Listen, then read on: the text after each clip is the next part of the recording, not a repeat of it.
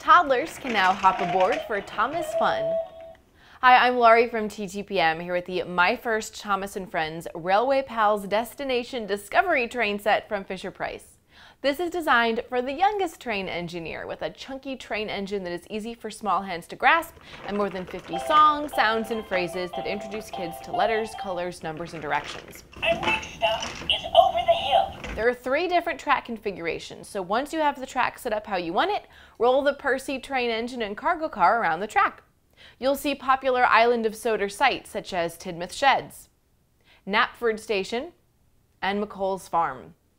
As kids push Percy along, Percy will roll over the nine track activation points. Each one will activate different sounds and phrases from the Percy engine. Let's jump all the way to the top. Kids can also hear more from Percy by pressing the train's front bumper. Ew, flatten my funnel. Other features of the train set include swinging gates, a crossing gate, an opening door with Sir Topham Hatt behind it, a spinning turntable to change directions, a cargo dumping area, a spinning windmill, and a spinning drum that makes Tidmouth sheds light up. The shed comes with two AA batteries.